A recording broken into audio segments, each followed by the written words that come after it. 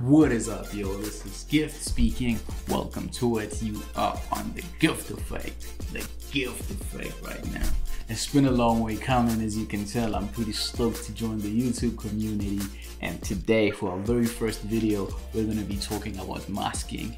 If you're working alone, wear a mask. So we're gonna explore the pen tool and discuss five creative ways you could use masking within After Effects. So let's get into it. One of the most popular ways in After Effects to use masking is when you need a sky replacement. Maybe you shot footage in a location and you didn't kind of like the weather or maybe you just want to change the sky for, you know, artistic purposes. For those of you who don't know, sky replacement is exactly what it sounds like, which is the process of removing a sky in a footage to replace it with a more dramatic one because you're trying to draw up the narrative of a story or something like that. So it's mostly used in the visual effects industry. You're a smart motherfucker, that's right. Now for this process, all you have to do is open up your footage in After Effects, create a new comp with it, and then mask out the parts of the parts of the video that you're going to put your new sky in, and then find your new footage that has the sky that you want to include in the video, drop it under the footage that you've just masked out, and then try and position it and get it to a spot where you kind of feel comfortable with having it. Now all you have to do at this point is make your sky a little bit more interesting to watch or a little bit more interesting than the original one that was on the video. So with that you can just add some color adjustments, maybe tweak a few colors here and there until you get it to a place where you feel satisfied with it.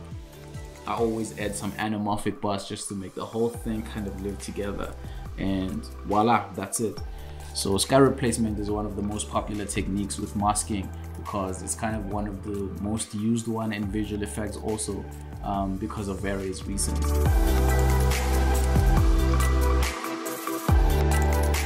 Now for our second project which is the text reveal technique.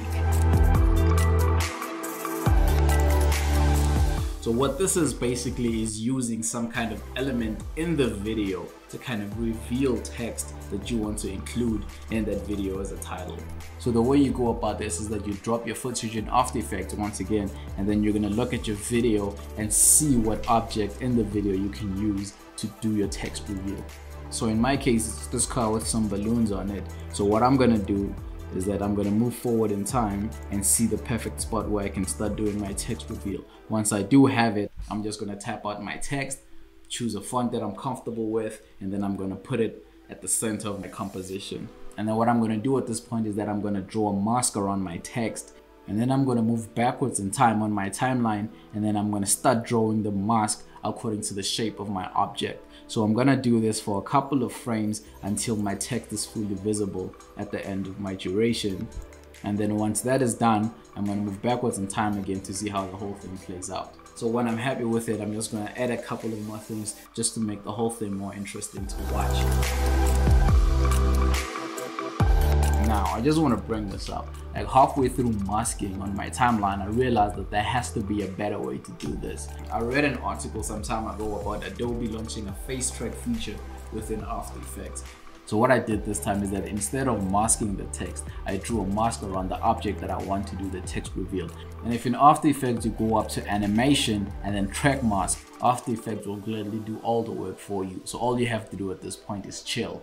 So I am a little bit upset that I sort of didn't realize this sooner. Otherwise, I would have done this with the first project. But anyway, it's fine. So I did it so that you guys don't have to. Yeah, and remember, you don't always have to limit this technique to just text reveal. Sometimes you can just have like text in your footage and just have the foreground objects interacting with it. I've seen this technique used a lot in trailers, movie trailers, series, all of that stuff. And it kind of looks okay even when you're not using a text reveal for it. Okay, who's next? Moving on to a third technique, which is removing items from your video. Now this feature has always been there in Photoshop, but not so much in After Effects. So how this works is that you would drop your footage in After Effects and then draw a mask around the item that you want to remove from your video. Remember, it also depends on how big the item is on your footage and it also depends on how big the space is around your footage. Like for example, if you have a house that you want to you want to remove like from your footage you need to have a lot of space in your footage to kind of let After Effects compensate for that area that you want to remove So in my case, I have a boat in my scene that I want to get rid of. So say for example, we're shooting a movie, like a shark movie, and you know, this shark is supposed to come out of water and then bite the main star on the hand and then he's supposed to shoot it in the mouth with a flare gun or something.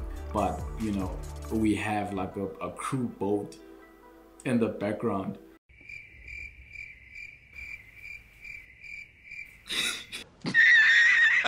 So anyway, long story short, what I'm gonna do to get rid of that boat, um, I'm gonna drop my footage in After Effects, then I'm gonna go to the beginning of my timeline, then I'm gonna draw a mask around that uh, item that I want to so, that I want to remove in my case, which is a boat.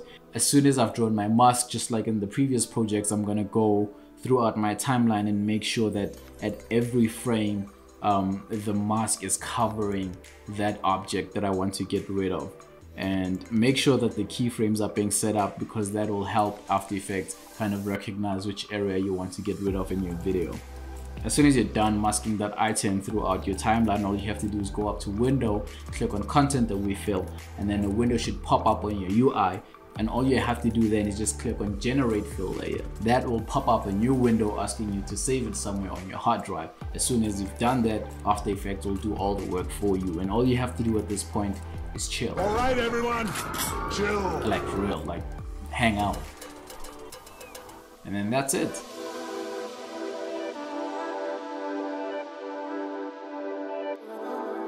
Moving on to our fourth and my favorite technique, matte painting. I love matte painting. I love it. Love it. Oh, love it. So for those of you who don't know, matte painting is the process of using different visuals to create one cohesive visual. So the first thing I'm gonna do is drop my footage in After Effects that I want to perform my matte painting on and then I'm gonna mask out areas of that footage that I don't want. So I'm only gonna keep parts of the video that I only need to include in the final uh, visual if that makes sense. I should have like enough free space in my composition to put whatever crap I want to put on there. So the first thing I'm gonna do is drop a visual of buildings and then I'm gonna mask it and keep only parts of that image that I want to include in my final visual. So I'm gonna duplicate it a couple of times before introducing a new element which is the sky and then I'm gonna color tweak it to match my scene as best as possible and then I'm gonna add a lens flare to bring the warmer tones together then a bit of color grading and my seed should be sorted. And last but not least, coming to our fifth and final technique, which is this pop out effect thingy from video, whatever.